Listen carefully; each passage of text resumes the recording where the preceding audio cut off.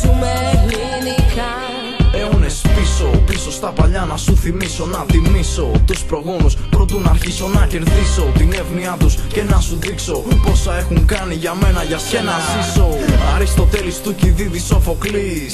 Και άλλοι τόσοι ιστορικοί και συγγραφείς. Φτιάξανε πολιτισμό παράγαν έργο Ενώσαν το λαό από τις άκρες ως το κέντρο της Ελλάδος. Γραφή και τέχνες, πολεμή και επιστήμη. Δώρα των θεών που έχουν μείνει στη μνήμη Στην πράξη εντάξει. Βάλαν σε μια τάξη Της χάση μεταξύ μας πριν υπάρξει Yeah. I'm like Socrates, philosophies, Homer's Iliads and Odysseys. A tiny piece of my inheritance and properties. Don't try to copy these. Ill rhapsodies, Esquilos tragedies, letting y'all slide with the Acropolis. Stolen freeze felonies. We got 2,000 years of history, victory, and melodies, which I consider my personal fundamental remedies. So show some respect and don't try to hate. Now tell me, do you remember Alexander the Great When three quarters of the world were considered a Greek state under democracy Now we living in a world of animosity Where hypocrisy is considered the best policy Bye.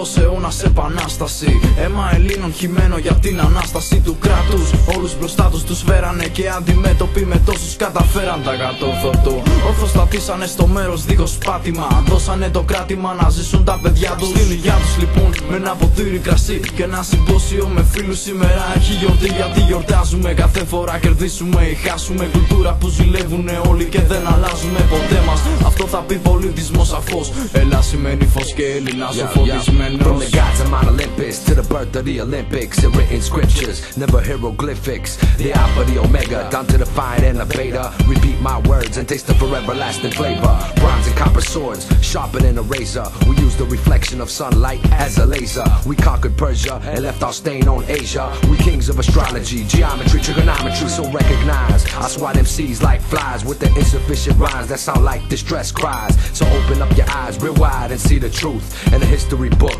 if you want some fucking proof.